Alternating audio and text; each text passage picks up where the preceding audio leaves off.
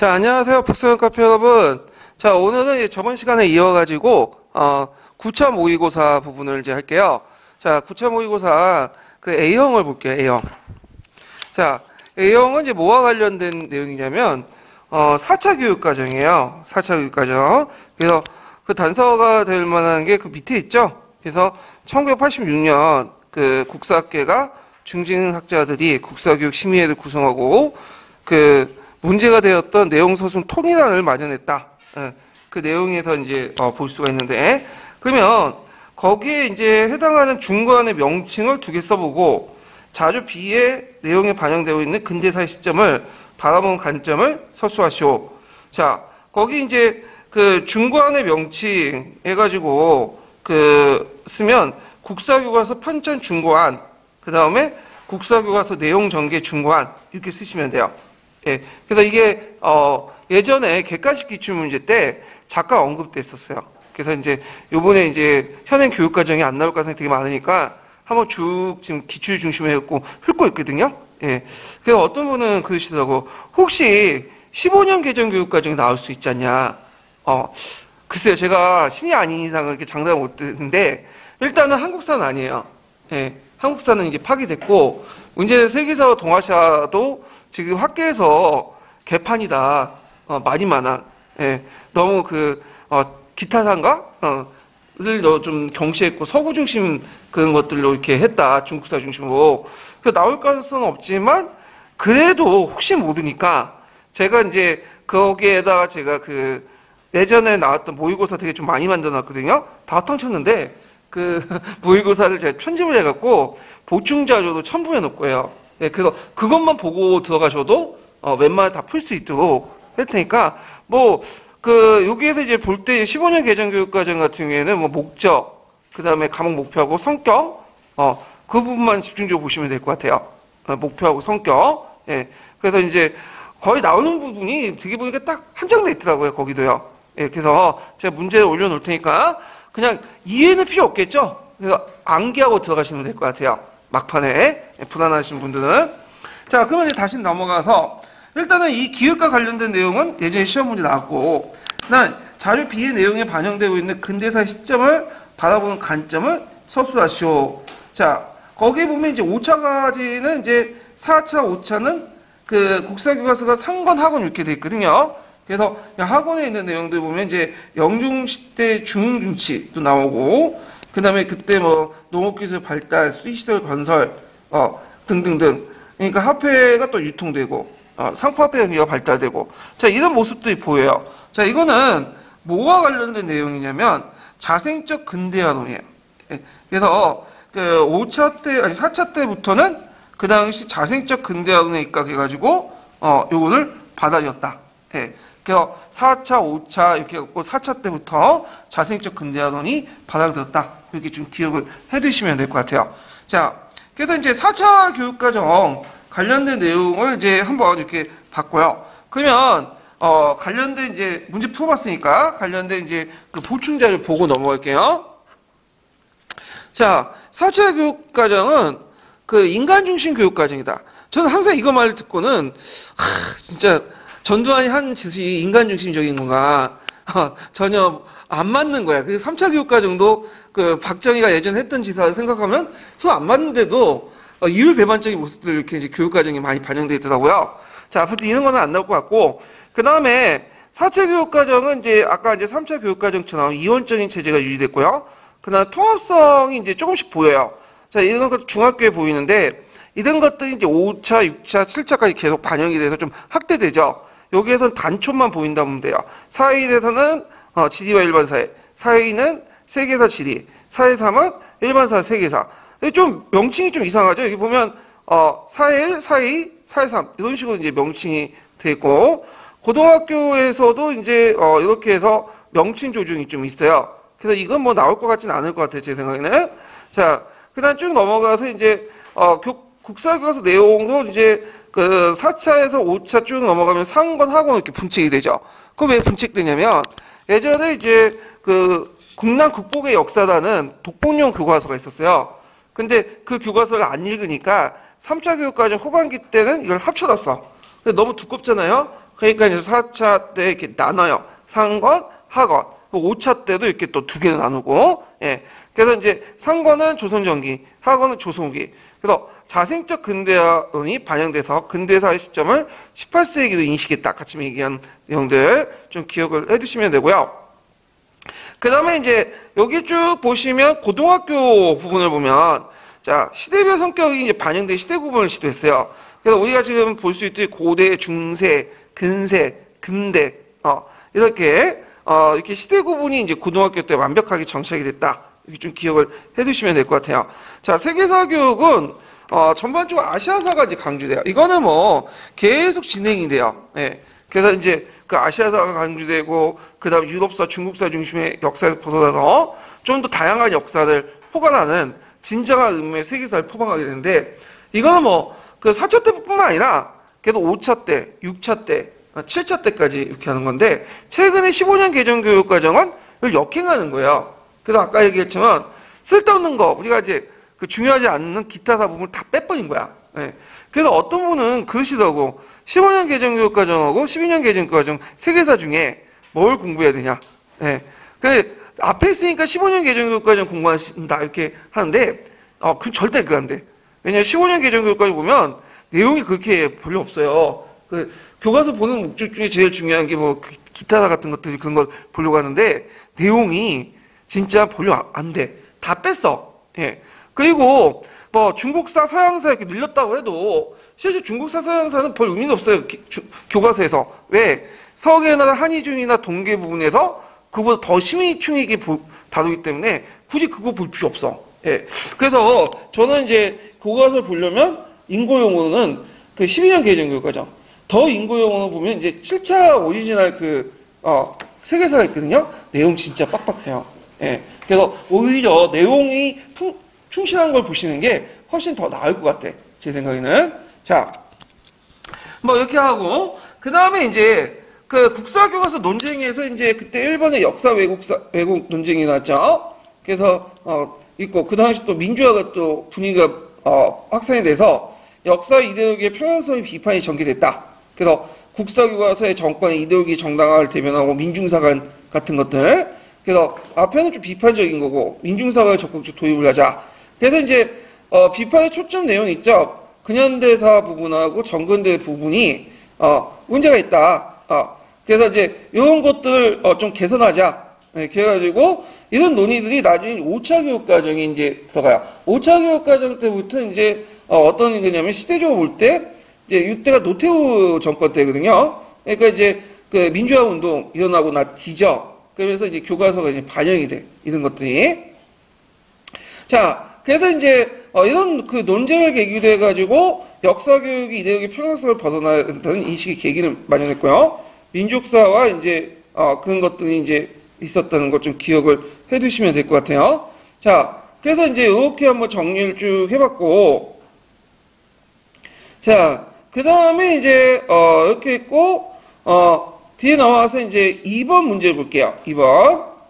자, 2번은 이제 뭐와 관련된 내용이냐면 신라 토지제도와 관련된 내용이야. 신라 토지제도와 관련돼 가지고는 한참 됐어 안 나온 지가 한 근데 예전에 좀 몇 번 나갔거든요. 한 10년 안, 된, 안 나온 것 같은데. 그래서 그것도 한번 나올 가능성이 좀 됐어요. 이제 되게 어, 그 기초에 보면 10년 주기설 딱 맞아 떨어지더라고요. 10년 동안 안 나왔던 것이 어, 나와. 어, 그 어, 10년이 지금 몇, 몇 년이야? 지금 2018년이니까 어, 08년, 뭐 08년 딱 해갖고 10년이 아니라 그 전후로 해서 한 1, 2년 약간 거기 부분을 집중적으로 보시는 것도 어, 괜찮은 것 같아요. 기초를 공부하실 때. 예.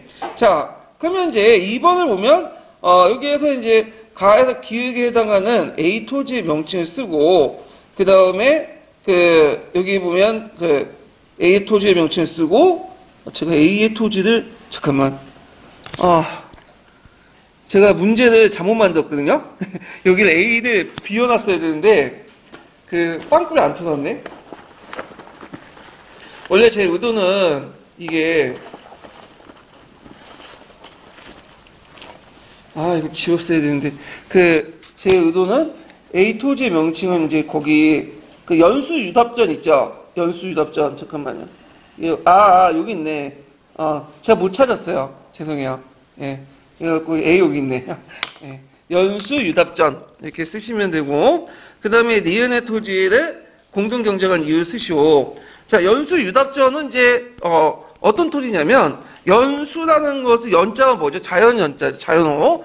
자연호에 어, 줬던 토지 어, 국가에서 논 밭이라는 뜻인데 그래서 이제 연수 유답전이 연수 유답전을 이제 보통 우리 뭘로 비정하냐면 어, 정전이라고 얘기해. 정전. 음, 정전. 그 다음에 간모답이나 어, 내신형답이나 이런 것도 있죠. 간모답, 내신형답 어, 등등 이런 것들은 이제 어, 떤 성격을 띠고 있냐면 내신형답과 관료전 같은 성격을 띠고 있어요. 예. 근데 이런 간모답, 내신형답 그 다음에 이제 연수 유답전 안에 촌주 유답이라는 게 있어요. 또 촌주 토, 토지. 그럼 누가 경작을 하냐? 그래서 이거에 대해서 이제 여러 가지 학설이 있긴 있는데 대개 학계에서는 뭐냐면 공동 경작했다. 어. 그래서 우리가 이제 고조나 조선시대 때는 수조권이 설정될 때 민전에 설정되죠. 그래서 그 민전에 설정되고 그 중에 이제 민전에 설정된 그 토지들은 거기에 이제 소유주가 어 자기가 생산한 거한 10분의 1 정도 내잖아요. 근데 어, 그 당시 고대 시대 때는 이런 식으로 그 뭐냐면 생산물을 이렇게 갖다 내는 게 아니야. 어, 세금을. 뭘로 갖다 내냐면 자기가 그 마을의 공유지나 이런 데 가가지고 몸을 떼워. 이게 이제 뭐냐면 노역이에요. 그래서 여기 이제 마을 공유지에 이제 뭐냐면 그 내신왕답이나 간모답이나 이런 것들 설정해 놓고 어, 일주일에 한 두세 번 해가지고 어, 일을 해준단 말이야. 이걸 이제 노역지대라고 하거든요. 노역지대. 예. 그것이 우리나라뿐만 아니라 어, 중세 시대 때도 보이고 그 다음에 그 중국의 이제 어, 그 정정제라는 그런 제, 도시제도 있죠. 이런 곳에도 보여요. 그래서 이제 이것이 좀 더 더 발전된 것이 뭐냐면 그 이제 노역지대도 발전된 게 생산물지대, 그 다음에 화폐지대 이렇게 이제 발전되죠. 그러니까 노역, 생산물, 화폐지대 어 이렇게 이제 본다. 이렇게 이제 보시면 될 것 같아요. 그래서 천민들이 자기 연수 유답을 경작하여 수확을 거두는 대가로 어, 이들 토지에 대해서 공동 경작을 해주는 거야. 그러니까 일종의 지대를 생산물을 내는 게 아니라 몸으로 때운다. 이렇게 보시면 되죠. 자, 그러면 신라의 이제 토지대도 이제 볼게요. 자, 신라 토지대는 이제 거기 쭉 보면 관료전, 뭐 녹읍 폐지 등등이 있는데 일단은 이제 어, 신문왕 때 보면 신문왕 때 예전에 시험 문제 나왔던 게 뭐냐면 관료전을 지급하고 녹읍을 폐지했다. 이게 시험 문제 나왔어요. 순서가 어떻게 되는 거죠? 관료전을 지급한 다음에 2년 후에 녹읍을 폐지했다. 예. 뭐 관료전이 의미가 없고 녹읍의 의미는 다 아시겠죠? 그냥 넘어갈게요, 이거는요. 자, 성동왕 때 아까 연수 유답하고 관련된 것이 어, 뭐와 관련된 건 정전이 있어, 정전. 그래서 정전인데 이 정전에 대해서 이제 두 가지 견해가 있어요. 하나가 이제 당나라의 토지제도처럼 어, 뭐냐면 어, 국가 토지를 나눠줬다.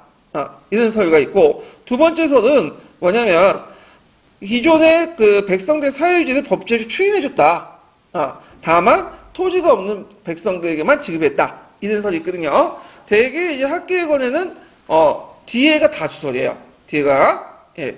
그래갖고 이제 요런 내용도 이제 좀 기억을 해두시면 될 것 같아요. 자, 그 다음에 이제 뒤에 넘어가서 경동왕 때 노급제를 부활했는데 예, 귀족의 토지지배를 견제하는 시책이 실패했기 때문에 귀족 세력이 국가를 능가했다. 그리고 그 밑에 시급이라는 개념 있죠? 좀 기억을 해주시고요. 그 다음에 이제 3번 문제 볼게요. 3번은 이제 뭐와 관련된 내용이냐면 고엽첩장 불신 조조와 관련된 거야. 요거 예전에 한번 기초에 나왔던 거죠. 고엽첩장에서 첩장은 뭐냐면 그 외교 문서라는 뜻이에요. 그래서 두 개의 외교 문서, 그러니까 고려에서 보내온 두 개의 외교 문서를 보고 그 외교 문서를 담당하는 관리가 양쪽이 다른 말을 하는 거야, 원나라에 대해서. 그러니까 이제 이거에서 어, 비교를 해보고 자기가 의심스러운 점들을 메모로 적어놨어요. 그래서 이것이 뭐냐, 고려 외교 문서를 보고 의심스러운 점들을 적어놨다 해서 불신 조조가 되는 거야. 고려 첩장 불신 조조. 그래서 원본은 고려 첩장은 지금 없어졌고요. 뭐만 남았냐면 그 메모지만 남았어요. 근데 그 메모지가 한동안 잊혀졌다가 나중에 발견이 된 거야. 네. 그래서 이제 불신 조율을 통해서 그 당시 그 고조에는 두 개의 정부가 있었다는 걸 알 수 있어요. 하나가 뭐냐면 몬, 용, 몽고에 항복된 원나라 정부, 원종의 정부죠. 또 하나는 그 몽고에 한정, 한정한 어, 항, 항정한 진도의 삼발초 정부 두 개의 정부가 있었다. 그리고 그걸 처리하는 그, 그 가정에서 일본이 국제관계에 상당히 무지했구나. 이런 것들도 알 수가 있어. 그러면 그 당시 몽고하고 이제 그 몽고에 대한 인식이 이렇게 두 개 정도 다른데 어, 그 당시 일본의 그 원종 같은 경우에 원종에는 개경 정부가 왜 일본에 사실만 어, 확인했냐면 어 뭐라고 할- 미리 어, 어제 그 당시 원나라 그 누구예요? 어, 쿠비라이 칸이 일본 원정을 가니까 일본 원정 가면 뭐냐면 많은 이제 고려 입장일 때는 노역을 할 거 아니에요. 병사도 동원하고 함선도 만들고 그 부담이 된 거야. 그래서 일본에 가갖고 미리 항복하자. 어 미리 항복해라. 어 그런 것들 이제 하면 미리 항복하면 굳이 쿠비라이 칸이 어 원정할 필요 없고 원정할 갈 필요 없으니까 고려 부담이 좀 적겠죠. 그 목적에서 보냈던 거고. 근데 이제 이에 반해서 이제 그 진도의 삼별천 조부는 뭐라고 하냐면 같이 공수동맹 맺어갖고 원날 치자. 어 그러면 일본의 반응은 어떨까요? 어, 일본은 잘 몰랐어. 그래가지고 둘 다 그냥 무시해버렸어요. 예, 둘 다. 예, 그래서 뭐 그런 내용들인데 자 그러면 이제 문제를 풀어보면요. 다음 사례 명칭을 써보고 당시 기획관 내인의 입장에 있던 각기 다른 고조 정부가 일본의 사실 파괴 목적을 각각 한 조인을 쓰시오 이렇게 했거든요. 자 이럴 때 기획은 일단 어 몽고에 대해서 되게 좋게 보죠. 뭐 몽고의 덕을 기부하여 군신의 이해를 이루어줬다. 뭐 이런 식으로. 그런데 이제 이에 반해서 니은에 있는 거 입장은 뭐예요? 니은은 거기 보시면 냄새 나는 위치적으로 냄새 난다는 뜻이거든요. 아, 이런 것도 있고 그 다음에 이제 오랑캐를 따르니 뭐 이런 것들. 자 이런 것들 몽고에 대해 안 좋게 봐. 그래서 기획의 입장은 개경정부, 니은의 입장은 진도정부 이렇게 볼 수가 있겠죠. 그래갖고 이제 개경 입장에서는 개- 아까 말했죠 원의 일본 원정이 고려 피해주기 때문에 일본의 항복을 유도하기 위해서 어, 어, 유도하여 원의 원정을 방지하려고 했고 그 다음에 진도 정부 입장은 대몽연합전술을 구축하기 위해서 했다. 이 부분이 예전에 공신력 기출문에 나왔어요. 그래서 10년 주기설에 보면 나올 가능성이 되게 많아. 그 부분이. 어, 그래서 고엽철정 불신조조와 그걸 왜 파견했는지 어, 이런 것들 같이 좀 파악을 해주시는 것도 좋을 것 같아요. 자, 4번은 이제 뭐와 관련된 내용이냐면, 갑신정변하고 관련된 거야. 예. 그래서 갑신정변도 기초에 자주 언급되는 부분이에요. 예, 그러면, 자, 아까 이제, 어, 보면, 몇 페이지 펴, 펴보시냐면, 4페이지 펴보세요, 4페이지.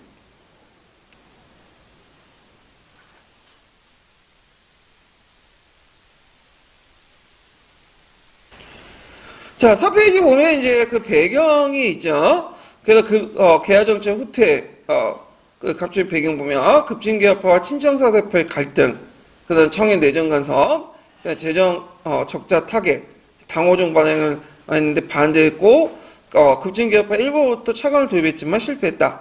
어, 국외적으로 청불전쟁에서 청군이 반 정도가 철수를 했고요. 그 다음에 일본의 어, 군사적 재정적 개화당의 지원 약속, 이런 것도 있고, 목표 이거 꼭 외워두셔야죠. 요거는 뭐 때문에 외워두냐면 행위 이동할 때, 어 그래서 목적 상황 수단 할 때, 드레이 행위 수단 그 행위 이동할 때 그 예문이 그대로 나와요. 목표로 그 민시 정권을 타파하고 청해 간섭에 벗어나 자주 근대 국가를 건설한다. 예. 가끔씩 그 역겨운 문제 보면 예문을 그대로 내는 게 있거든. 예문을. 어 그럴 때는 자기가 머리 굴려갖고 쓰면 안 돼요. 그거는 예문을 외워가지고 쓰셔야 돼. 예문을. 자, 그래서 정변 과정 좀 보시면 되고, 그래갖고 결국에는 이제, 어, 이걸 통해 청일 양국과의 세계 군영됐고, 청일 내정 간섭과 외교가 간섭이 심화됐다. 예. 그때 이제 맺어진 거 보면 한성 조약, 탱진 조약, 어, 이런 것도 있는데, 한성 조약은 조선과 일본이 맺어진 거야. 그래서 이걸 왜 맺었냐면, 처음에 나도 이걸 이해가 안 됐어. 어, 한번 일본이 한번 가해자잖아. 조선 그 갑신정도 같이. 해놓고는 뭐 우리나라 정부하고 뭘 맺어 배상금을 지불하고. 그건 왜 그러냐면 고익이용이에요. 청란한테. 우리도 뭐냐면 피해자다. 어 오늘날 흔히 말하는 피해자 코스프레이? 어, 그 정도죠. 예 그래가지고 이제 이걸 보여주기 위한 거고. 그래서 이제 어 되게 이제 어떤 사람은 그날 갑신정변할 때 개화당을 지원한 건 일본 정부가 아니라 일본 공사관이 지원한다고 했다. 그러니까 일본 정부 차원에서 지원해 주는 거 아니라 일본 정부도 나중에 알았다. 이런 식으로 얘기를 한 사람도 있어요 그 다음에 텐진 조약이 이제 조선의 청일 동등한 지위를 인정해주고 청일 양군이 조선을 동시에 철수하면서 조선의 군대 파병 시 상호 통, 통보를 한다. 이게 나중에 청해전이 원인이 되는데 주의할 것은 텐진 조약에서 통보를 했다고 해서 통보 받은 측이 뭐냐면 군대 이끌은 분은 없어요. 그 내용이 없어요. 근데 일본 애들이 그 끌고 온 거죠. 그래서 원래는 이제 얘네들이 텐진 조약을 가지고 이제 좀 얘기를 어, 파병 명분을 하려고 했는데 이게 안 되는 거야 이게 자기들 입장 올 때도 어, 일본 입장에도 얘네들이 국제법을 좀 지켜야 되거든요. 왜냐면 얘네도 영국과 미국의 눈치를 봐야 돼요. 근대 국가의 모습을 좀 보여주기 위해서. 그러니까 어, 끌거다 끌거다 보니까 거기 보니까 재무표 조약이 있는 거야. 예, 그러니까 자국민을 보호하기 위해서 뭐 이런 내용이 있어요. 그걸 억지로 해석을 해가지고 갖다 붙여가지고 합병한 거죠. 근데 결론적으로 탱진이든 자, 재물포든 다 이게 뭐예요? 불법이에요. 그건 파병하는 자체가. 지가 그, 어, 그 뭐냐, 건강부의식으로 해석해갖고 갖다 보낸 거고. 자, 하여튼 이런 것도 있고. 자, 그 다음에 의의를 이제 보면, 자, 여기에 이제 근대 국가 수입을 수도 있고, 방법상 위로부터의 개혁과 일본의 결탁을 불가피했고, 그 다음에 민주주의, 민족주의 근대 운동의 선구로였다. 등등. 한계가 있었죠. 한계 외워두셔야 돼요. 왜냐하면 이제 개혁을 지지할 도, 농민층, 도시상공회의 지지를 모으기 위한 구체적 시도를 하지 못했고, 그 다음에 어, 이들이 지향했던 것이 그들의 기득권을 지향 부좌를 지향했고, 특히 이제 얘네들은 지주 전도제 대신에 부세제도 개혁에 초점을 맞췄다. 그 다음에 결정적인 한계인데 누굴 끌어들였죠? 일본을 끌어들였죠. 그러다 보니까 이제 욕을 얻어먹었던 거죠. 이게 아마 세 번째가 제일 많은 욕을 얻어먹은. 아, 개혁하면 좋긴 좋은데 왜 일본을 끌어들이냐. 아, 그래서 이때부터 이제 개화에 대한 생각이 안, 어, 뭐냐, 예전에 나, 나빴는데 그 뒤부터 더 나빠졌어. 예. 그래서 이제 이런 것들. 그 다음에 그들이 이제 내가, 내었던 게 14개조 정강이죠. 그래서, 어, 1번부터 14번 쭉 보시면 되고, 거기에 눈여볼 게 이제 문벌 폐지와 인민평등권 내세웠다. 이 내용이 갑신정면 가보기요 동학농민운동의 공통점이에요. 예전에 기출문에 나왔던 거고요. 그 다음에 이제 3번은 이제 지조법이었다. 지조법이라는 것은, 어, 어제 기준으로 이제 세금을 걷는 거죠? 지가일 기준. 어제도 많이 들어봤어요, 지조법. 어, 그 메이지 이슈 때. 메이지 이슈 때도 예전에 국고작가가 걷었죠. 기준을. 근데 이때부터는 지조법 해갖고 3%딱 걷잖아요. 예, 일반 영향을 받았던 걸 이제 볼 수가 있는 거고. 그 다음에 여기 쭉 보시면 알겠지만 한국제 폐지 있고 규장국 폐지는 이제 원래는 좋은 제도였는데 외척 세도 정책 기반이 됐던 게 때문에 폐지되다 어, 폐지 제도가 하는 거고 해상 공국이라는 거는 뭐와 관련된 내용이죠? 이건 고구상 조직이죠. 그래서 해상 공국을 없애서 그 정부적 산업특권을 폐지한다. 그래서 되게 개화파들의 이제 급진 개화파들의 경제가는 어, 자유주의야. 네, 모든 걸 다 개방하고 공개 경쟁을 하는 거야. 그런 것들이고. 자, 그 다음에 쭉 넘어서 어, 모든 제적 호조를 통일하고, 그 다음에 대신과 천차에 모여서 어, 정령 의견 반파한다. 요 내용이 뭘 지향하냐면 내각제도 수입, 입헌군주제를 지향하는 거야. 근데 주의할 것은 예전에 기출문제 나왔지만 입헌군주제를 지향하는 거지 입헌군주제 실시하는 거 아니에요. 입헌군주제 실시하려면 뭐는 있어요, 기본적으로. 의회도 있어야 되고 헌법도 있어야 되냐. 그런 게 없어. 지향만 하는 거야, 지향만. 자, 그래서 요 내용들 같이 기억을 해주시면 될 것 같아요. 자, 그래서 이제 한번 이제 문제 풀어볼게요. 자, 4번을 보면, 자, 이은이 기획이 당시에 실시하고자 했던 경제 및 재정 개혁 관련된 것은 개혁을 두 가지 쓰시고, 그리고 디귿의 대외적 배경 쓰시오. 이렇게 있는데, 자, 니은이, 어, 1번 당이라 지목했던 사람들이 어떤 1번 당? 이거는 급진개파. 왜? 1번하고 가깝기 때문에. 거꾸로, 어, 온건개파를 뭐라고 할까? 청나와 가깝기 때문에 4대 당이 나오죠. 예. 자, 1번당 급진개파들이 갑신점을 익힐 때 실시했던 경제재정 관련된 내용. 자, 어떻게 했어요? 지조법을 시행하고 호조로 재정을 인원화시키고요. 그 다음에 해상국을 폐지해 자유로운 상업발전을 도모했다. 이렇게 쓰시면 되고요. 그 다음에 요게 이제 나는 이제 일본하고 청나라 간에 맺어진 탱진 조약이죠. 그때 청나라가 우위에서 불구하고 조선에 왜 군대를 철수했냐? 어, 그게 이제 의문점인데 이거는 그 대외적 배경을 보면 당시 누가 싸웠어? 프랑스가 싸웠죠. 그래서 프랑스와 싸우는 과정에서 일본의 요구를 수용할 수밖에 없었어요. 네. 그래서 이제 그 당시 프랑스 싸우는 과정에서 일본의 어떤 뭐 국제적 지지라도 좀 받, 받으려면 그런 것들을 이제 하려고 했다. 이런 것들을 좀 기억을 해 두시면 될 것 같아요. 자, 그 다음에 5번 문제 볼게요, 5번. 5번은 송나라 도시와 관련된 내용이죠. 이것도 객관식의 기출문에 나왔던 거야. 예.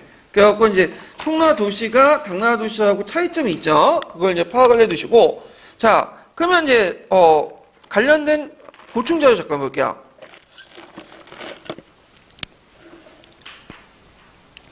자, 송나 도시의 발달은 이제 보면 원거리 상업의 발달을 위해서 물산의 집산지, 어, 특산적 수공의 집중지, 도시의 생업 기회가 풍성히 제공할 수 있고, 그 다음에 상공에 대한 국가의 보호 정책과 농업 생산력 증가 등등, 그래서 인구의 어, 도시 집중 현상이 났죠. 그래서 농업 생산이 늘어나면서 어, 농업에 배제한 비농업 인구들이 도시에 집중되고 그 다음에 인력 생산물들이 도시에 집중되면서 시장이 형성되면서 도시가 발달했다. 이렇게 보시면 돼요. 자, 송대 도시하고 비교할 게 당대 도시인데 당나라 도시는 송나라 도시는 되게 경제적 성격이 있죠. 그래서 당나라 도시는 정치 군사적 성격이 강해. 그래갖고 이제 당대 도시의 특징이 뭐냐면 시방제예요. 시방제. 시방제가 뭐냐면 어, 시장을 어, 도시에서 아무데나 만들 수가 없어요. 국가에서 정해준 어, 한 한도에서 만들죠. 간설시장. 그래서 예를 들어서 그 장안 같은 경우에는 동시서시, 그 낙양은 세 군데 설치했죠. 방은 뭐냐면 여기 이제 주거지를 나누는데 가끔씩 이제 어떤 걸 이해하시면 거기 가끔 이제 아 저는 이제 주공 아파트 살기 때문에 그런 게 없는데 푸르지오 아파트나 좀 비싼 아파트 가보면 어 담을 쳐놨더라고. 담을 쳐놓고 거기에 문을 이제 만들어 놓고는 어 여기 왔다 갔다 하더라고요. 예. 그래서 이 문은 뭐냐면 일종 여장이야. 그 당시에 방문. 그래갖고 담을 이렇게 쳐놔. 그 당시에도. 예. 그래갖고 끼리끼리 모여 살아요. 예. 이해가 되겠죠? 뭐 밤이면 문을 닫아버려. 통행금지 시켜버린 거야. 그러니까 오늘날 푸이지 아파트는 좀 고급 아파트라고 생각하시면 돼. 아, 이 방이란 걸. 그래서 그 당시에는 이제 이런 방들을 만들어서 통제를 했다. 그래서 대표적인 방이 뭐냐면 그 이제 우리나라하고 이제 관련된 건데 신라방 아시죠? 신라방도 일종의 신라인들이 사는 방이란 뜻이에요. 도시에서. 자, 그래서 뭐 이렇게 이제 있는데, 자, 어, 이것이 이제 나중에 송대도 다시 무너져요. 그래서 송나가면 시장을 이제 자유롭게 만들 수가 있고, 시방제가 이제 붕괴되죠. 물론, 어, 그 사는 곳에 따라 이제 특정 계층들이 살긴 하지만, 담을 쳐놓고 이제 살진 않아요. 자, 그래서 이제 그 송대 도시는 이제 초시가 발전돼서 자유로운 분위기가 도시 안에 전체로 발전됐고요.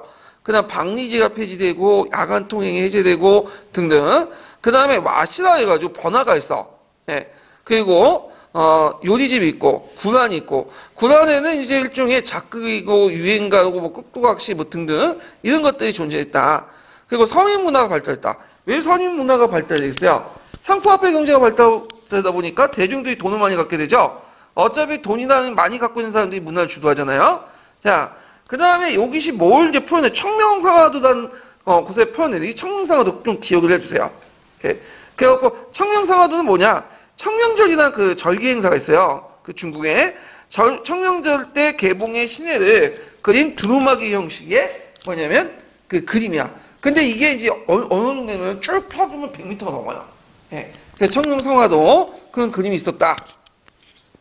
그 다음에 도시의 종류 같은 걸좀 보면 이거는 그냥 어, 초시가 있고 뭐 등등 있다는 걸좀 기억을 해주시면 되고 자 그러면 관련된 문제를 풀어볼게요. 다음 미추리친 도시의 수도 삼았던 왕조가 왕조 때 기획의 그 자율성의 한계로 사료 내용을 고조해서 쓰시오. 어, 그 다음에 가는 이제 전 왕조의 도시 구조 및 운영의 특징을 두 가지 쓰시오. 이렇게 있는데, 자, 여기에서 이제 그, 어, 미추신 도시, 동경은 뭘까요, 여기? 동경은. 동경은 어디냐면, 오늘날 카이풍이야, 개봉이야. 북송의 수도였죠. 그러면, 북송의 수도로 삼았던, 어, 때 행, 행위의 이제 자율성 한계. 행위가 뭐냐면 상업종항이야. 상인조합. 어, 일종의 이제 상인 길드와 비슷한 거죠. 자, 어, 당나라 때도 행이 있었고, 송나라 때도 행이 있었어요. 거기다 이제 송나라 때는 행 외에도 뭐가 또 생겼죠? 수공업조합인 작이 생겼어. 근데 당나라행과 송나라행은 좀 차이가 있어. 어떤 차이점이 있냐 하면 대개 이제 그 당나라행보다 송나라행이 좀 뭐냐면 국가의 이제 뭐냐면 간섭을 좀 상대적으로 적, 적게 받아요. 그래서 어, 당나라 같은 경우에는 아예 행장이 국가가 임명하고 아니 관리를 했어 국가에서. 근데 송나라는 상대적으로 어, 자유롭게 운영하지만 근데 그럼에도 불구하고 한계는 있어요. 왜냐하면 국가의 이해에 따라 현실에서 간물, 되게 이제 행위 이제 뭐냐면 국가의 간물, 그러니까 일종의 뭐라 할까요? 국가에 바치는 어떤 여러 가지 물품 같은 거 있죠? 이런 것을 납품하는 과정에서 정상조합적 성격을 가지고 있었다. 어, 이게 뭐냐? 정상조합이 뭐예요? 정상조합. 정치권하고 뭐냐면 그 경, 경, 그 상인, 상인이 결합된 거죠. 정치와 경제가. 지금도 일본에서 그런 모습들이 많이 보이잖아.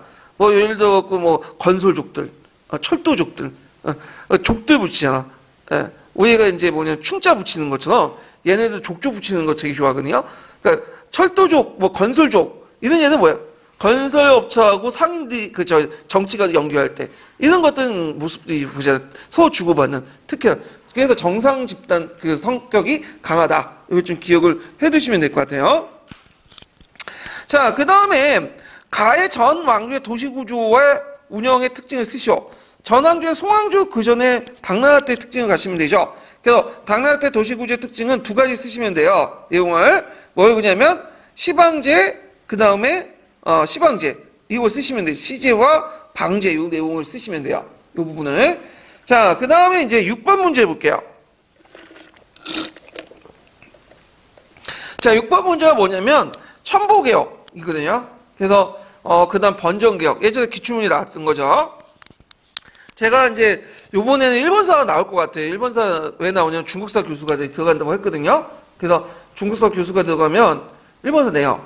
그 작년에는 서양사 교수가 들어가지고 오스만을 그 개떡 같은 문제 있죠. 그거 냈고 그 다음에 요번에 이제 동양사 중국사가 되면 의뢰 이제 일본사를 내는데 어 작년에 이제 그 2년 전에 냈던 게 근현대사 부분이야. 그쵸? 그러면 주기대도 이렇게 고대 근현대사 이렇게 내더라고. 근데 제 예감에는 한 번 이제 이탈할 때가 됐어. 궤도를. 그래가지고 너무 식상하잖아. 패턴이.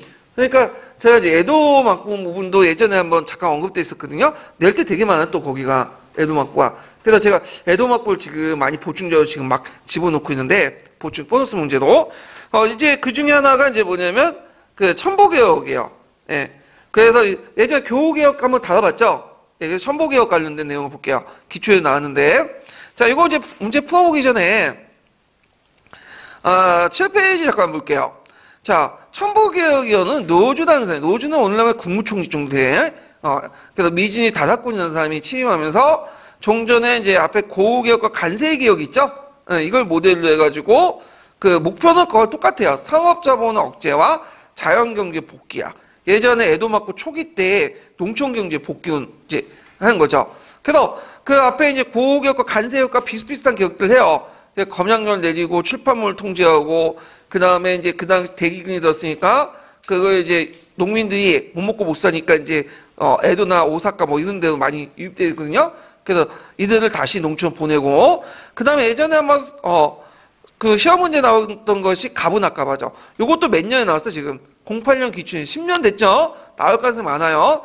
자, 여기에서 낙하마라는 건 뭐냐면 일종의 어, 상인조합을 뜻해요. 근데 이 가부라는 건 뭐냐면 어, 상인조합 중에 독점권을 가지고 있는 상인지 말이에요.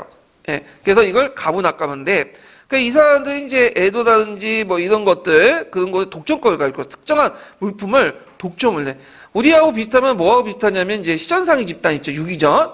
그래서 이들이 상품 유통을 독점해서 물가를 올린다고 생각해서 원래는 가분학값을 해갖고 운좋기나 모각기나 영업세를 받았거든요. 그걸 포기하고 해산을 시켜. 근데 문제는 이들 해산을 시켜도 물가는 계속 오른다는 거야. 그래서 우리도 똑같죠. 그 시전상인들이 그 금단조건 폐지해도 뭐예요? 물가 올라잖아. 똑같은 거야. 원인은 다른 데 있었던 거야. 왜냐면 이들이 이들 때문에 물가가 오는 것도 있어. 그런 친구도 있지만 근본적으로 유통 구조가 너무 다단계야.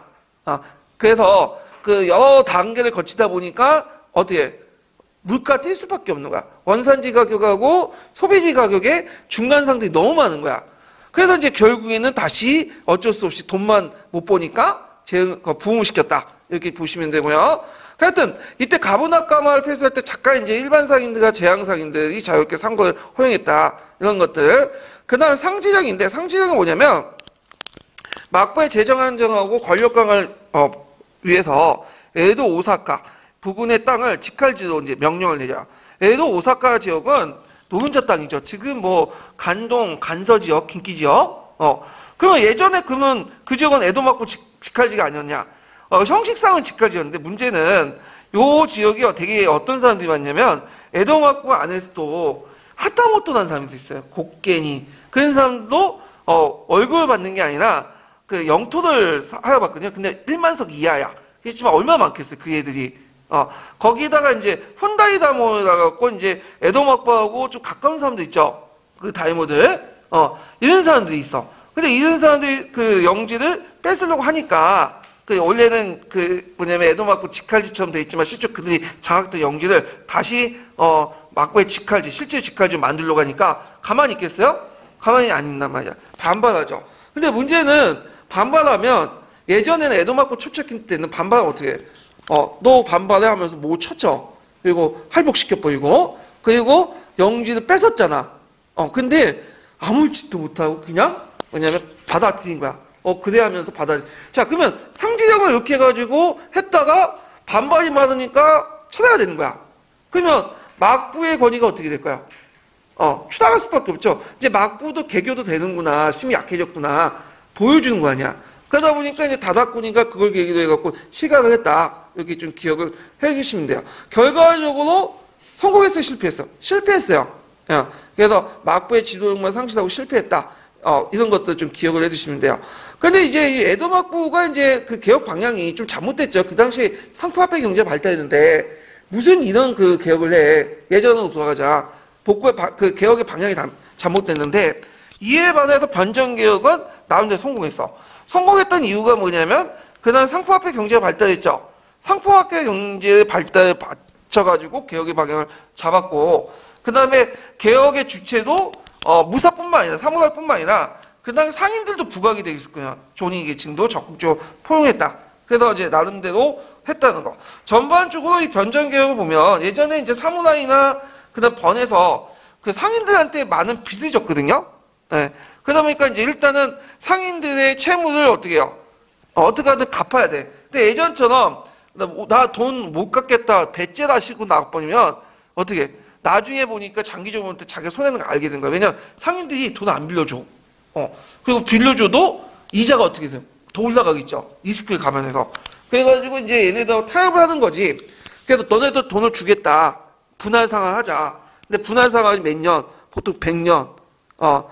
그러면 그 상인들 입장부터 손해볼 것 같죠? 그렇지만 대신에 당근을 줘. 어떤 식으로 주냐면 그 대신에 분할 상환 하는 대신에 그 다음에 뭐냐면 그 독점권을 너네한테 주겠다. 그러니까 우리 번내에 뭐 예를 들어 갖고 사탕을 잘 만든다. 설탕을 잘 만든다. 설탕 독점권 주고.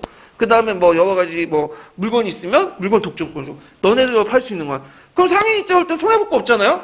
어차피 받기 좀 힘들 것 같은데 어 뭐냐면 특수의 목적 회사를 만들어 놓고는 얘네들 독점권을 주니까 괜찮거든. 그러니까 서로 협력하게 된 거야. 이해관계를 일치시켜 놓고는. 그래서 이제 이런 식으로 해가지고 어, 영내의 어떤 어, 특정한 물품들을 전매도 해가지고 특수회사를 목적으로 해갖고 상인들과 어, 독점권을 주는 방식으로 해서 했고 대신에 빚을 탕감받거나 이렇게 어, 빚을 어, 어, 뭐냐면 그 상한으로 해가지고 분할하는 방식으로 했다. 그래서 이제 그때 대표적인 번 중에 하나가 뭐냐면 사스마 번과 그 다음에 조스변이죠. 이 사스마 번과 조스변은 나중에 메이지 유신 때 하자했던 번 중에 하나예요. 이들 번의 특징이 뭐냐면 토자마변이야. 그러니까 토자마번은 뭐냐면 에도막과 이제 세울 때 이제 어, 초창에 눈치 봤던 변들이죠. 어, 그래갖고 나중에 새끼까지 전투 이후에 어, 원래는 서군 축에 들어가 있다가 눈치를 봤다가 나중에 동군에 붙은 축이야. 그러니까 이제 에도막구 입장일 때는 좀 약간 믿지 못하죠. 그러니까 얘네들 이제 변경 지역에 배치시켜놔. 대신에 땅은 많이 줘. 그렇지만 정치에 참여하지 못하도록. 그러니까 정권에서 좀 약간 소외된 사람들이 많아요. 그 사람들이. 그래서 이 사람들 입장일 때는 이제 그 뭐냐면 그 개혁을 자체적으로 해가지고 힘을 기울이기 시작했는데 자 사스마변 같은 경우에는 어디냐면 저기 큐슈 남부에 있는 거고 사스마변하고 또 가까운 게 뉴크무역을 또 장악했죠 오키나와를 장악해서 그래서 가미가타 상인들이 빌린 창문 해소를 성공했고 이 여기 이제 사스마는 남쪽이니까 사탕을 전매제를 강화시켜 예 사탕 수사 아시죠? 그래서 이 오키나와 가 보면 사탕 수수 밭이 되게 많더라고 거기 예 그래서 뉴크무역도 이제 확대하고 화검무사를 등용하고 서양식 포수를 채용하고 기계식 공장, 기계 공장 설립을 했다. 그 다음에 이제 어, 조슈본인데 조슈본은 어디냐면 그 시모노세키 아시죠? 그러니까 이제 그 센토나이카 내에 쪽으로 들어가는 그 입구에 있는 딱 도시야. 아주 지리적으로 딱 어, 알만한 도시죠. 그래서 그걸 적극적으로 이용하죠. 그래갖고 이제 상품 위탁 천매, 그 다음에 성박 함, 화물 가세 이런 것들 하고 재정적으로 보면 연공을 격감시키고 분할 상하제를 내주고 그 다음에 이들도 종이와 밀랍 같은 걸 전매질 실시하고 등등등. 그래서 이제 이렇게 해서 조스병하고 사스마변은 성공했다. 그래서 그 에도막부에서 추구하는 그 뭐냐 개혁은 실패하는 듯 반해서 조슈번이나 사스마변은 성공했다. 이렇게 특징이 있어요. 자.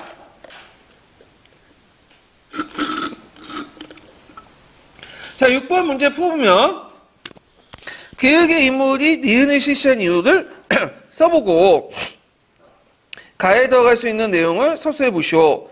자, 로주 미진의 다섯코니가 상인들의 자유로운 거래를 인정해 에도와 오사카에 입된 물자를 늘어나도 했다. 자, 이거는 이제 가부나빠마의 이제 독점권을 폐지한 거죠. 그래서 이제 이렇게 했고, 그래서 이제 그걸 왜 실시했을까요? 물가가 너무 많이 뛰었기 때문이죠. 그래서 가보나까마 상품 유통 도점이 물가 등의 주된 원인이 됐기 때문에 그렇다. 이렇게 쓰시면 되고.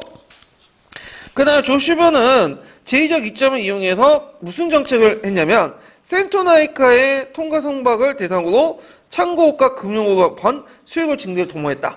어, 오늘날 이제 싱가포르와 홍콩 역할을 했다 보시면 돼요. 이 역할을. 자, 그 다음에 이제 7번 문제 볼게요. 7번은 역사 지도죠. 역사 지도도 시험 문제 예전에 한번 좀 많이 나왔어요. 역사 지도 연표 해가지고. 자, 그러면 이제 잠깐, 어, 몇 페이지표 보시냐면, 보충 페이지 8페이지 펴보세요.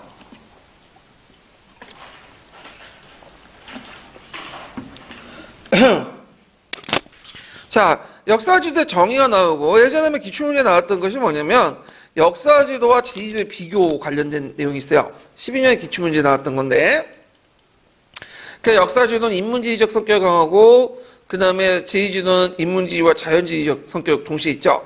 역사지도는 주로 일정한 기간이나 상당 기간 동안 지속된 사실을 공간적 표현된 방면에 어, 자연지도는 어, 주로 공간적 상황을 제시하는 일부 시간의 변화를 담고 있어 특정 시점을 보여주죠. 어, 그래서 이제 이런 것들. 그 다음에 내비 보시면 알겠 내비는 항상 업그레이드 돼야 이게 일종의 어, 지휘주와 비슷한 거죠. 자, 역사주는 그게 아니야. 보통 100년, 200년. 뭐 고려시대 때문에 행정구역 개편 이런 것들 전반적으로 한 지도에서 어, 찾아볼 수 있죠. 그 다음에 역사주는 주관성이 강해. 편집하는 과정에서. 근데 지휘주는 어, 상대 주관성보다는 객관적으로 세밀하게 표시했다. 이렇게 좀 보시면 되고. 그 다음 시험 문제 많이 나오는 것이 뭐냐면 역사주도 활용과 관련된 부분이에요. 그래서 역사주도 활용이 세 가지 부분이 있죠. 그래서 첫 번째는 역사적 사실을 지휘적으로 파악하는 거. 그래서 두 번째로는 그 당시 일정한 공간에 관련된 역사 변화를 시간적 계통적으로 파악하는 거. 예를 들어 임재단의 어떤 순서죠. 그 다음에 이제 6.25 전쟁의 순서 이런 것들. 근데 한 장의 지도에서 모든 걸 표시하면 좀 복잡해지니까 이걸 몇 장의 지도 나눠주죠. 예, 그래서 한 세네 장 정도, 뭐 6.25 전쟁 과정에서 또 시기별로 이렇게 지도를 나누고, 그 다음에 또 하나는 한 장의 지도를 통해서 여러 사실을 알 수 있는 거야. 그래서 이제 녹색책에 나와 있는 게 뭐냐면, 그 당시 이제 그 익류 지역이나 대동세 있죠? 운반하는 과정 속에서, 어, 대동세뿐만 아니라 여러 가지 어떤 내용도 파악하고 있죠. 자, 그러면 관련된 내용을 이제 볼게요. 7번은 다음 가지도에서 반영된 기획의 내용을 써보고, 그 다음에 나지도를 학습을 활용할 경우에 유용한 점을 한 가지 쓰시오. 이렇게 했거든요. 자, 역사에서 다루는 과거 사실들을 지도 위에 남아, 담는 것이 역사 지도 할 때 지휘지도와 비교해서 기획의 역사 지도는 다음과 같은 특성을 가지고 있다. 그러면 가에서 기획의 역사 지도는 뭘까요? 역사 지도 보면 이렇게 어, 보시면 고려시대 때에 뭘 담고 있어요? 지금 행정구역을 담고 있죠. 근데 그 행정구역이라는 것 자체가 어, 딱 한순간에 만들어진 건 아니죠.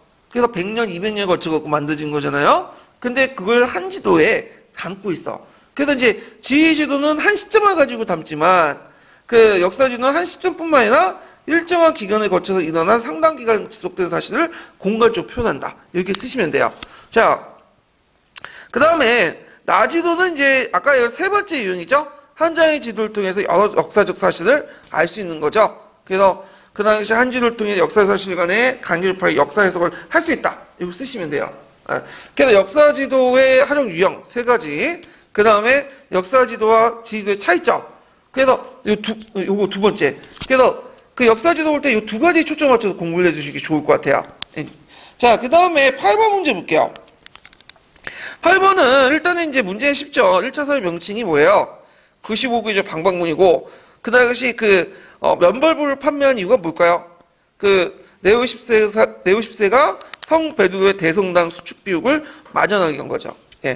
원래 면벌부는 뭐냐면 대개 이제 그 십자군 전쟁 때부터 그 판매했다고 그래요.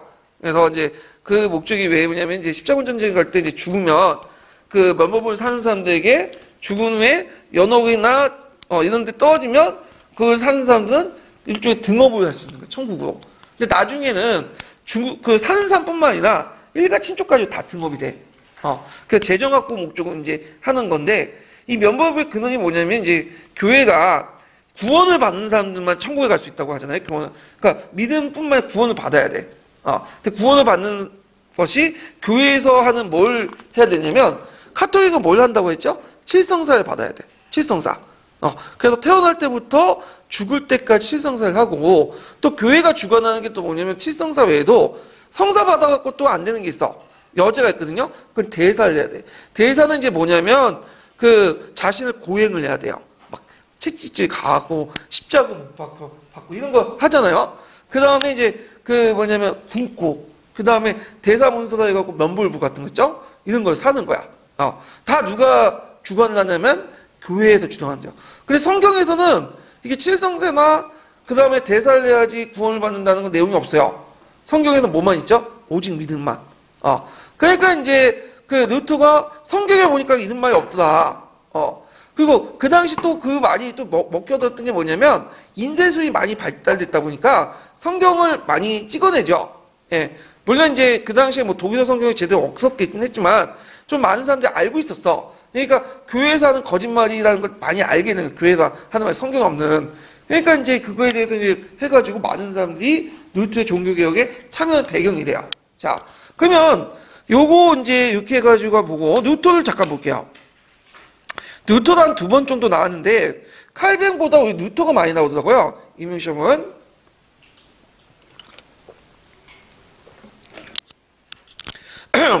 뉴턴은 이제 종교 독일 종교개혁 발달이 돼가지고 95개조 방방문을 냈고요. 그래서 제후드의 지지를 받았고 그 다음에 그 당시 그 어, 쭉 넘어가면 뉴턴의 사상을 보면 신앙에 근거한 성서에서 성서 제일주의 그 다음 교회를 부정했고 면제부 면범부죠 판매를 비판했고 그다음 종교적 평등을 강조했죠. 영적 신앙과 세속적 신분을 어, 신분을 구분해서 비판했고 만인사제주의 그래서 있고 그래서 이제 이런 것들이 이제 농민 전쟁에 영향을 줬다. 그러니까 처음엔 농민들이 어떤 식으로 생각하면 뉴트 사상을 모든 사람들이 평등하다 이렇게 생각. 근데 뉴트가 말하는 평등이라는 거는 죽은 후의 평등이에요. 영적인 평등이지 세속이 그 뭐냐 세속 간의 어떤 신분의 평등을 어 뭐냐 말하는 건 아니에요. 어, 하여튼 오해를 한 것 같은데 그 다음에 이제 신과 인간의 직접적 내면적 관계가죠. 그래서 교회를 배제한 채, 어, 뭐냐, 직접 신도가 하나님을 만날 수 있다. 이런 식으로 얘기를 하죠. 그래서 선행의 구원의 긍지를 하죠. 그래서 교회에서 보통 이제 믿음과 선행, 그러니까 칠성사하고 대사를 강조하잖아요. 교회가 주관하는 거는 이거는 다 금지시켜. 그리고 여기 있고, 그 금식 순례 같은 것도 일종의 뭐예요, 이것도? 칠성사의 대사 같은 게 일종의 일종이에요. 그 다음에 세대와 성차만 인정하죠. 그러니까 칠성사 중에 어, 세대와 성찬신만 인정해. 이게 뉴트교에서 약간 이제 좀 한계인데 나중에 칼뱅 쪽으로 넘어가면 어떻게 되죠? 아 인정하지 않죠. 원래 세대와 성찬은 있어. 근데 이게 그 세대와 성찬은 이제 뭐냐면 성사의 의미가 아니라 이건 뭐냐면 안에 의식의 의미야. 상징적 의식의 의미지. 이걸 받아야지 뭐 구원을 받는다? 그런 의미 아니에요. 예. 네. 하여튼 그때까지는 좀 있었고 그 다음에 어, 여기 보면 노예의지론, 에라스무스의 자유의지론 논쟁이 있었죠? 그거 좀 기억을 해두세요. 그 에라스무스의 자유의지론은 무슨 사상을 바탕한 거예요? 스콜라 철학. 근데 노예의지론은 그 뭐냐 원시 기독교 사상, 그러니까 교부 철학을 바탕한 거죠. 그래서 이제 이런 내용들이 있다는 거. 그 다음에 저 의인설. 그 오직 믿음만이 뭐냐, 구원을 받을 수 있지 선행은 언제 아니다. 이렇게 보시면 되고. 그 다음에 이제 뉴트가 독일어 번역을 했죠. 그래서 이런 것들이 이제 근데 독일어 어, 발전에 공헌했고 특히 독일 같은 경우에는 표준어가 없어요 거의 예, 중심 지역이 없잖아. 그러다 보니까 되게 표준어 형성이 뭐냐면 성서 발급을 통해서 번역을 통해서 하기 시작했거든요. 그래서 하여튼 이런 것도 있고 그래서 이제 뉴터 같은 경우에는 제후들의 보호를 받았기 때문에 뉴트교 자체가 좀 국가와 같이 긴밀하게 관련돼 있어. 예, 이런 특징을 갖고 있다. 자, 그래서 이제 이런 내용들 같이 기억을 해두시면 될 것 같아요. 아, 뉴트파 공인부터 좀 여기 또 설명할게요. 그 뉴트파 공인 과정을 보면 그때 뉴턴을 지지한 북독일 제후들 중심해 갖고 어, 슈마카트 동맹이 결성이 되죠. 그래서 싸우게 되고 결국에는 아우쿠스부르크 화해를 맞게 되죠. 뉴트파가 공인받고 제후와 자치도시 중에 종, 종교 선택권을 부여하는데 이거는 뭐냐면 그 지도자가 믿는 어, 종교를 선택을 해야 돼. 그러니까 종교 선택권이 그 지역의 제후나 어, 이런 사람들이 선택할 수 있는 그 종교가 그 신민들 그대로 따라야 돼. 그럼 난 그 종교 못 믿겠다. 제후가 믿는 종교 못, 못 믿겠다. 그럼 어떻게 해? 다른 곳에 이주해야 돼. 예. 자, 그래서 이제 개인의 신앙이자는 허용하지 않는다. 그러면 교화, 교황의 지지를 않은 신교가 설립됐다. 그 프로테스탄트를 인정했다. 근데 이게 개인의 신앙의 자유를 이제 인정받기 시작한 건 언제 때냐면 30년 전쟁 이후에요. 그러니까 어떤 분이 이런 얘기를 하더라고. 30년 전쟁 조약 보니까 아우크스부르크 화의 내용을 어, 계승한다 이런 내용이 있는데 어떻게 설명할 거냐. 그래서 조, 그 아우크스 화의에 그 뭐냐면 제후의 종교를 그 선택한 걸 그대로 따라야 되는 걸 인정한다 이런 내용이 있거든요. 그 종교의 자유 있죠. 개인의 종교의 자유를 인정하지 않느냐 어, 했는데 항상 그 원칙이 있으면 뭐가 있어요? 예외가 있죠. 그래서 예에 보면 몇 년 몇 년 기준으로 해가지고 뭐냐면 그 예전에 종교를 믿었던 사람은 그 밑에 지배층의 종교, 그 지배자의 종교 외에도 다른 종교를 믿을 수 있다. 이게 있어. 몇 년 기준으로. 근데 그 몇 년 기준이란 자체가 예매하죠. 제가 믿었는지 아닌지 그 증명할 수도 없는 거 아니야. 어. 그리고 또 그 개인적 차원에서 믿는다는데 그러다 보니까 이 말은 뭐냐면 그 종교를 믿었던 제후가 어떤 종교를 믿든 간에 내가 그 전에 믿었다고 우기면 개인적 차원에서 공식적인 안에도 개인적 차원 믿을 수 있는 거예요.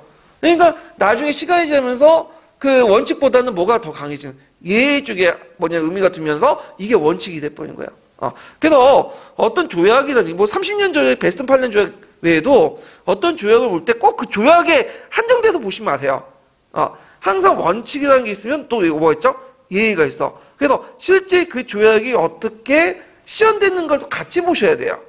예. 그래서 예를 들어 삼민수용 무역장정 거기 보면 어, 뭐냐면 내지 통상권 인정받는다 그게 있잖아요. 근데 내지 통상권은 원칙이 아니에요. 뭐냐면 그 내지 통상권을 할 때는 꼭 뭐냐면 조선 정부의 허락을 받는 게 예의적인 거야. 이게 원칙이 아니야. 근데 실제로 이 당시에는 청나라가 정치적 주도권을 갖고 있다 보니까 이 원칙이 중요한 게 아니라 예가 어, 원칙이 돼버린 거지. 그래서 조약을 할 때는 조약 내용뿐만 아니라 그 조약 내용이 실제 시연된 그 부분까지도 같이 봐두셔야 돼요. 예. 그래서 이걸 또 어, 기억을 해두시면 되고. 자, 그래서 하여튼 뉴토파는 이제 북부 독일, 덴마크, 노르웨이, 스웨덴, 북부 유럽 확산됐고요. 남부 독일까지 확산됐지만 남부 독일은 다시 카톨릭으로 해결됐죠. 무슨 전쟁 때문에? 어, 농민 전쟁 때문에 이렇게 해결됐다. 예, 이걸 좀 같이 기억을 해두시면 돼요. 자, 그 다음에 이제 9번을 볼게요. 9번. 페르시아 조약이, 어, 페르시아 전쟁이죠. 페르시아 전쟁도 예전에 시험 문제 나왔죠. 1차, 2차, 3차 이렇게 세 가지 나오는데 실제 1차는 뭐 전, 쟁이라고 하기 그렇고 2차부터 해서 그 3차까지 이렇게 쭉 지속이 되죠. 그래갖고 이제 2차 때 이제 미티아데스가 이끌었던 그 군대가 마라톤 평원에서 그들을 격파했고요. 그 다음에 이제 준비 기간 동안 이제 아테네 해군들이 강화됐고, 그 다음에 이제 3차 전투 이렇게 넘어가는데,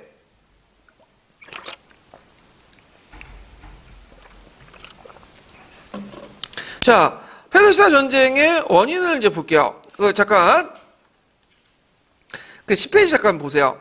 자, 배경을 보면 그 당시 이제 지중해 해상 패권을 둘러싸고 페르시아 제국과 그리스 독립 도시국 간의 대립이 있었죠.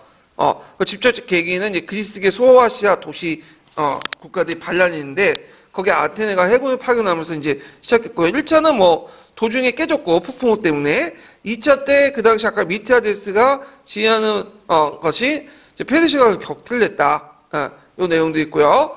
그 다음에 이제 2차 때 이제 이렇게 내용도 있고 그 취입 후에 그 아테네 대함대가 건조, 어, 건조됐는데 요때 테미스토클레스가 이제 그걸 권유해봐서 대함대를 만든 거예요. 그러니까 아테네가 해군이 강하다는 거는 어 2차 때부터가 아니라 2차 이후 때부터요. 예. 그리고 그에 맞아서 이제 테미스토클레스가 이끌었던 어 해군이 살라미스 해전에서 스파르타군을 격파했죠. 근데 이제 있고 그 다음에 이제 육전에 스파군이 스파르타군이 이제 패배를 했죠. 그 유명한 테르모필레 전투인데 이 테르모필레 전투는 외워두세요. 레오니다스가 300 이끌고 와가지고 싸웠던 전투 유명하죠. 물론 300 외에도 그 동, 그 동맹국도 있어갖고 한 어, 1000명에서 2000명 정도 와갖고 싸운 걸로 이제 알려져 있는데 그 영화도 나왔으니까 나올 수도 있어. 전투 명칭 쓰라고. 예. 뭐, 그래서 이제 3차 침입 결과 이제 이겨가지고 델로스 기금을 마련했고 아테네가 그리스의 패권을 장악했다. 예. 이런 내용들이 같이 기억을 내두시면 될 것 같아요.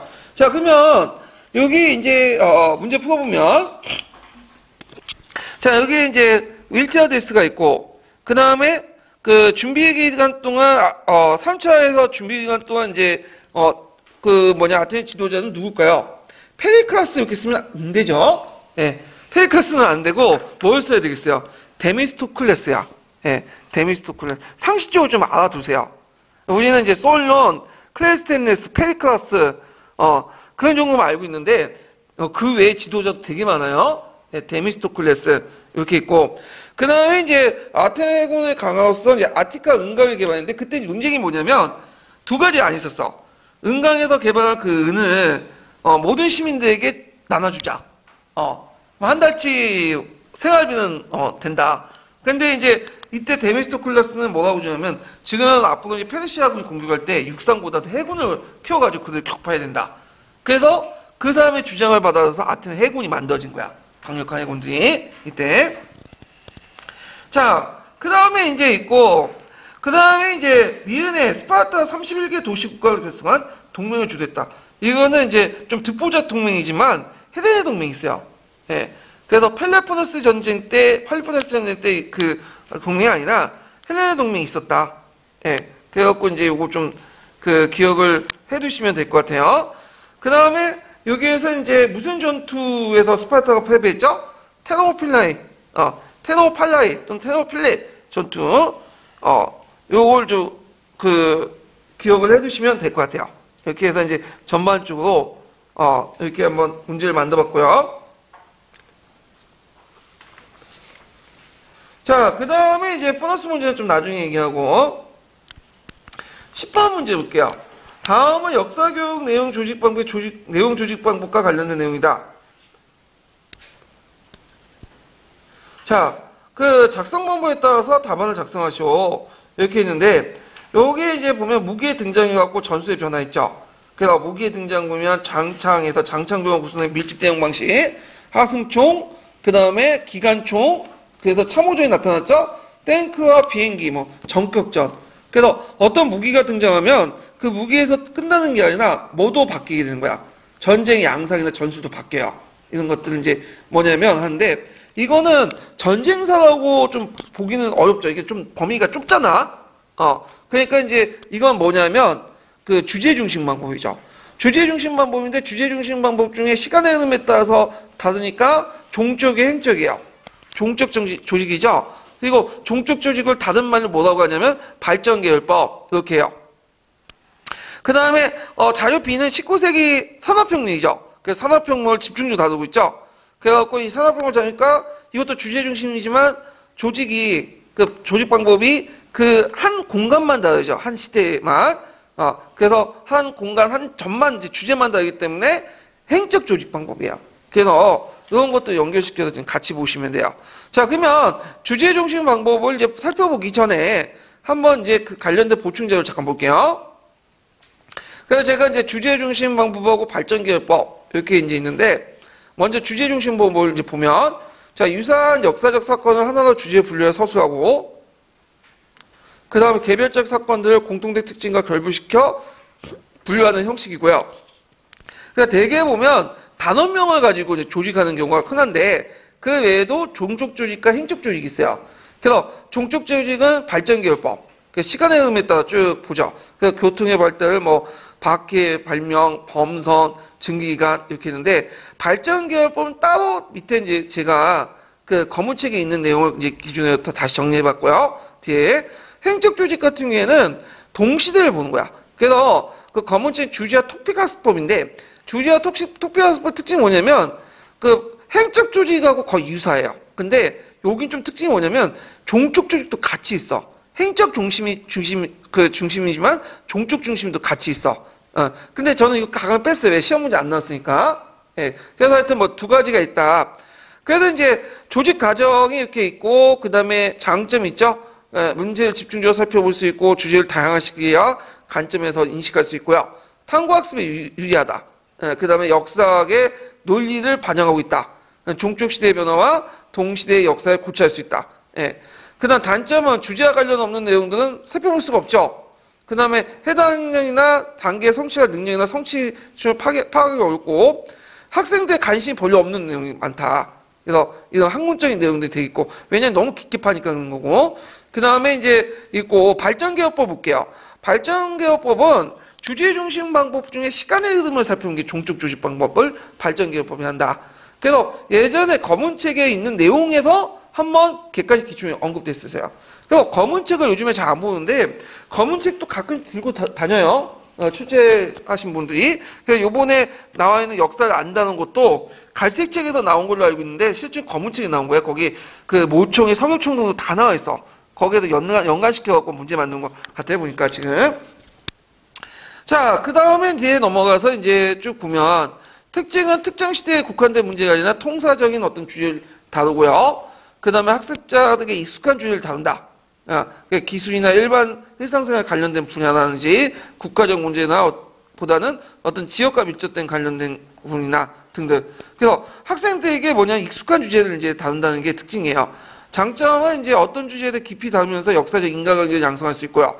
모든 내용을 같은 정도의 깊이로 학습할 필요 없으며 한정된 시대와 관련된 역사적 사실을 탐구함으로써 통찰력을 얻을 수 있고 학생들이 여러 각도의 문제를 퍼- 바라보는 폭넓은 역사적 시각 양성을 기여할 수 있다 등등 단점은 이제 이것도 뭐 앞에서 언급한 것처럼 어, 그 주제에 벗어나면 어, 이제 뭐냐면 손하기 쉽다. 예. 그러나 통사학습 바탕으로 특정한 주제를 체계적으로 깊게 그 학습할 수단으로 이게 어, 활용 측면에 이건 단점인 기억이고 어, 활용은 이제 니은과 관련된 내용이고요. 그래서 전반적인 이제 발전 기업법 내용도 이제 좀 얘기를 했고요. 그러면 한번 이제 문제를 풀어볼게요. 10번 문제 보면 자 여기에서 이제 공통적으로 자료 A와 B의 내용 조직 방법을 이용할 때 고려할 점과 문제점을 각각 두 가지를 서술하시오. 이거는 어디와 관련된 거냐면 녹색 책에 있는 내용, 주제 중심 방법에 있는 내용을 쓰시면 돼요. 행적이든 종축 조직이든. 그래갖고 거기에 이제 고려할 점은 성정의 목적과 이유를 분명히 해야 되고 내용 구성 과정에서 각 주제의 선호 관계와 인과 관계를 고려 배열 순서를 제시하고 역사적 사건들이 사회를 묶고 주제할 수 있도록 하고 등등등 이런 것들을 이제 같이 해야 되고요. 그 다음에 요구의 문제점은 뭐냐면 아까 제가 얘기한 것처럼 그 학습자의 관심과 흥미를 반영이 어렵고 학문적 내용이 너무 강조됐다 등등. 그 다음에 어 뭐 어떤 특정한 사건을 살- 살펴보기 때문에 그 주제에서 좀 벗어나는 거 있죠. 이런 것들은 파악할 수도 없고 그 다음에 주제 나열식 제시기 때문에 학생들의 어떤 성취 능력 같은 걸 제대로 알 수 없다. 뭐 등등을 이렇게 적어 놓으시면 될 것 같아요. 그 다음에 자료 B의 내용 조직과 구별되는 자료 A의 내용 조직 방법의 명칭을 쓰시오. 자, 자료 A의 내용 조직 방법의 명칭은 뭐라고 써야 될까요? 이거는 발전 계열법. 또 이제 별칭은 주제 중심법 종축 조직 이렇게 쓰시면 돼요. 자, 그 다음에 이제 교수학습 과정에서 자료 A 내용 조직을 이용하는 방법을 두 가지 쓸 것. 그래서 이게 제가 이제 검은책에 있는 내용을 이제 적어놨는데 그 통사학습을 하기 전에 역사교육의 흥미를 높이기 위해서 도입학습에 어, 활용하거나 그다음 통사학습 바탕으로 특정한 주제에 대해서 체계적으로 깊이 있게 하는 수단으로 사용할 수 있다. 그러니까 앞부분에 흥미용, 그다음에 또 하는 과정에서 심화학습용 음, 이렇게 쓰시면 되겠죠? 흥미를 끌기 위해서 그다음에 심화학습용 이렇게 이제 어, 쓰시면 돼요. 자, 그래서 이제 이렇게 해서 이제 뭐 받고, 그 다음에 뒤에 넘어가서 11번 문제 볼게요. 자, 11번 문제는 뭐와 관련된 내용이냐면, 요거는 진시황의 정책과 관련된 내용이에요. 예. 그래서 진시황의 정책 관련된 내용인데, 그 진시황의 정책 중에 뭐와 관련된 내용이냐면, 그 9년제 실시 있죠? 9년제. 그래갖고, 그 9년제고, 그 다음에 이제 뒤에 전환 초기 때, 가희가 이제 그 진시황의 정책들을 비판하면서 가진론이라는 걸 작성한 게 있어요. 예, 그래서 이거 있는데 이 가진론 부분은 그 사유부는 아시아사에 있거든요. 그래서 어 이런 것도 있는데 가진론은 거의 못 썼을 것 같아. 어, 듣보잡이니까. 어, 근데 이거 뭐 틀렸다 해서 실망하지 마세요. 어차피 틀려고 낸 거니까. 예. 자, 그래서 요번에 틀렸으면 5104 문제에서 풀다 틀렸으면 어, 이걸 너무 실망하지 마. 어, 오히려 이기에 그냥 알아, 그 아는 게 좋겠다. 애우세요. 알아두는 게 나아. 어, 알아둔다면 손해볼 거 없어요. 자, 그러면 이제 11번 문제 이제 보기 전에 시, 진시황의 정책 부분을 이제 볼게요. 진시황의 정책은 예전에 한번 시험 문제 많이 나왔는데 최근에는 9년제하고는 거의 안 나오더라고요. 문제가 너무 쉬워서 그런지 안 내는 것 같아요. 거기서.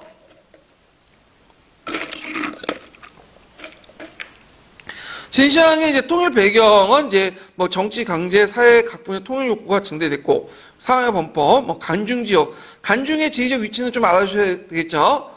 그 다음에 이제 그 밑에 쭉 보면 이제 사상체 근거가 쭉 나오고요. 법과라는 거. 그래서 예전에 어떤 문제가 나왔냐면 법 그 진시황의 이제 진나가 왜 망했냐 법과 연관돼서 어 문제가 나왔죠. 그래서 진나 통일에 의해 중국 역사상 최초의 통일 제국이었다. 한계 지배체제 확립이었다. 그러니까 만리장성 경계에서 농경지대를 확보했다. 이런 것도 있고. 그 다음에 이 사람은 다 통일시켰어. 그 예전에 전국시대 때 있었던 것들을 다 한 가지 기준으로 다 통일시켰어. 동양을 통일시키고, 화폐를 통일시키고, 어, 그 다음에 등등. 그 다음에 학문도 통일하는 과정에 분석인도 일어났죠. 이런 것들이 있었다는 걸 좀 기억을 해 두시고요. 그 다음에 중앙행정조율 3090, 뭐 거의 안 나오고, 요거는. 그 다음에 잘 나온 게 9년제야.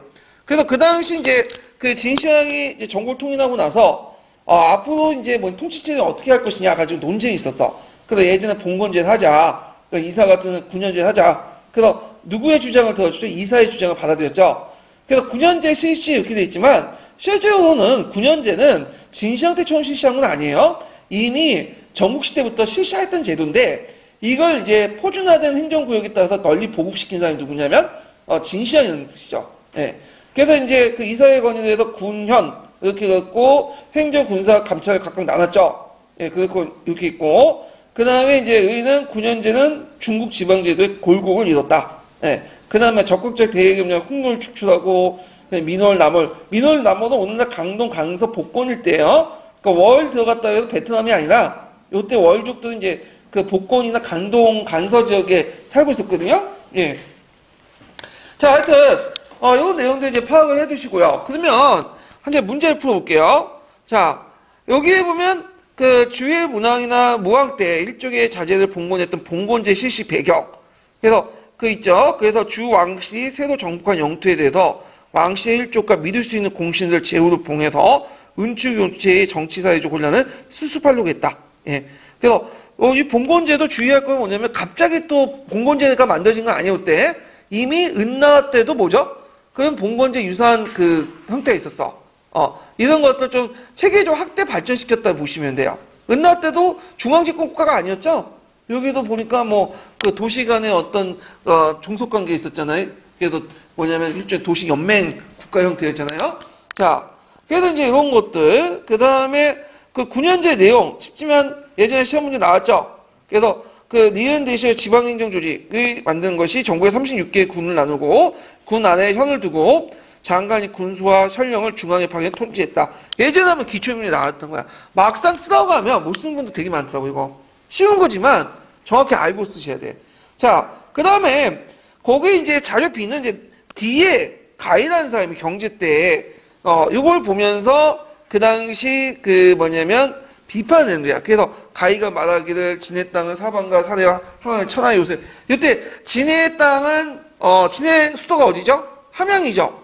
함양의 그 뭐냐면 위치했던 지역이 간중이야 장안이라고 한 뜻인데 역대 왕조의 수도였죠. 그래서 그 지역의 명칭을 뭐라고 하냐면 가, 그, 어, 간중 이렇게 쓰시면 되고 그 다음에 이제 여기에서 그 비의 주장이 무엇이라고 하냐 가희가 주장하는 그 밑에 쭉 있는 내용이 뭐냐면 가진론이에요.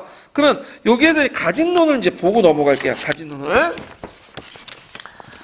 자, 이 사료는 전환 초기 경제 때 가희가 진제국의 잘못을 조목조목에 작성한 것을 가진론이라고 부르는데 이 가진론은 명쾌한 논리와 명문자가 유명한데 전체적인 논지는 전국시대 진국의 성공을 진호국 이도의 군주의 혁명한가 당시에 형세에 있었던 것점 만인이 바라는 통일을 업적을 이뤘 통일하는 업적을 이뤘으나 진시황과 그 진이세 그다음 자영 에 이어서 세 명의 군주의 잘못으로 인해서 진 어, 석 같은 미약한 세력에 의해서 순식간에 어, 멸망을 이루게 되었다.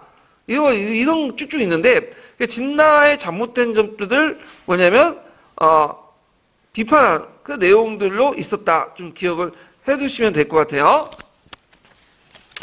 그래서 이제 그 진섭이라는 사람은 아마 제가 이제 그것도 뭔데 자영을 죽인 사람이라고 하는데 실제 진섭 때문에 멸망한 건 아니고 이거 사료에 있어서 그 얘기한 거고 실제로는 무슨 난이라는 거죠?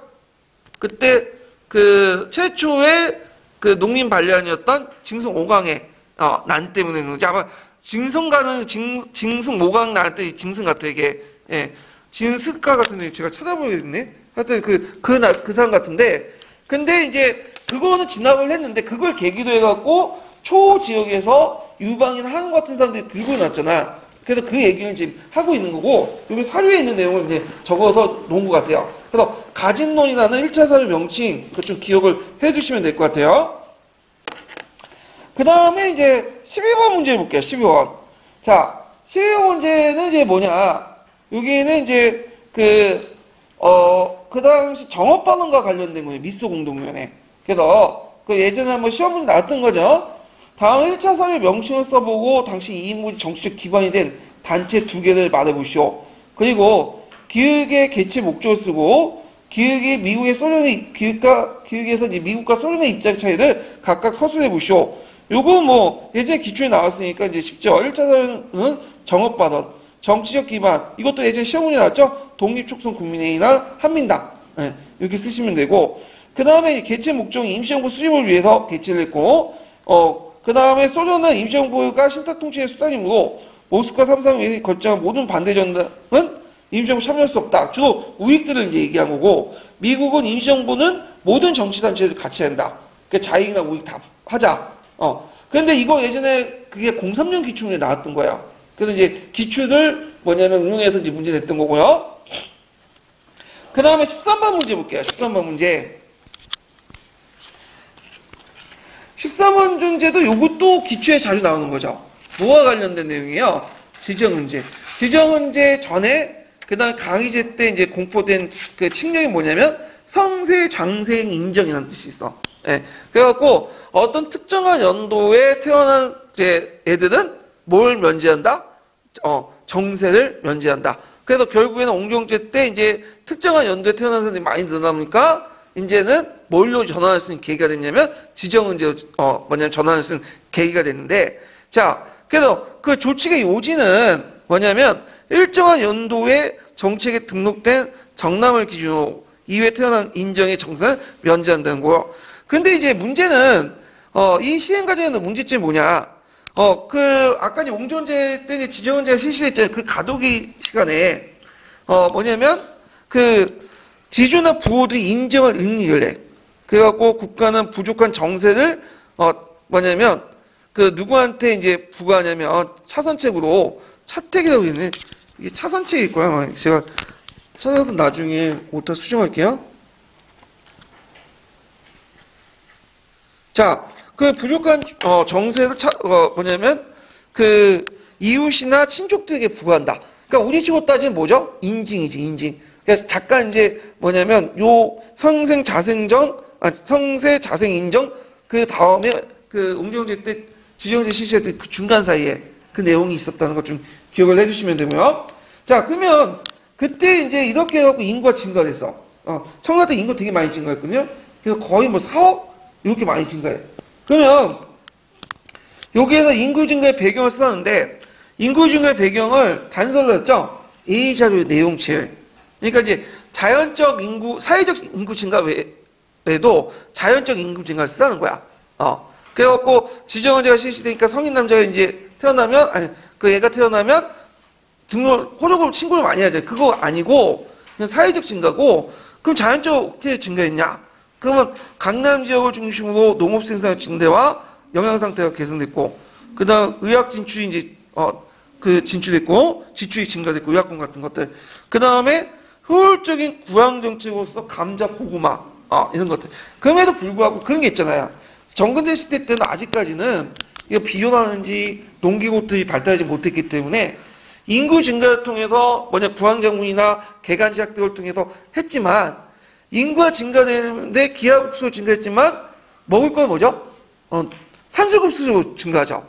식, 식량은 그러다 보니까 그 나중에 들어가 청나 말기 때 들어가면 이게 뭐예요? 항상 영양 빈곤 상태에 들어가.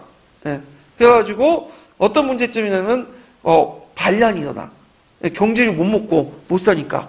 그래서 나중에 이제 그 청나 말기 때 그 반란이 많은 거는 그 중에 여러 가지 원인이 있겠지만 그 중에 하나 들려면 뭘 줄 수 있다? 식량 부족이 될 수 있어요. 인구는 늘어나는데 그 식량은 늘어나긴 늘어나는데 생산은 늘어나지만 그 인구 증가를 따라잡지 못해요. 그래서 이런 것들 이제 연결시켜서 같이 보시면 될 것 같아요. 그래서 1인, 1인당 경제 명적이 줄어들고 환경이 파괴되고 실업자가 늘어나서 사회 불안이 어, 고조됐다 등등등 어, 이런 것도 이제 보시면 되고 자 그래서 제가 이제 지정원제와 관련돼 가지고 그 안 돼. 그 보충 자료 몇 페이지에 적어놨냐면 14페이지 적어놨으니까 한번 각자 보세요. 제가 시간 관계상 다 얘기 못 드리겠고요. 자.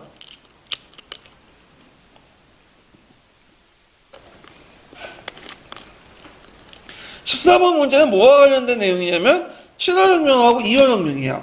시험 문제는 2월혁명이 거의 대부분 나와요. 7월혁명은 거의 안 나오고 자 그럼 문제는 이제 풀어보면 자 다음 가의 어, 1차선의 명칭을 써보고 가칭령으로 일어난 A 혁명이 이탈리아에 준 영향을 한 가지 써보시오.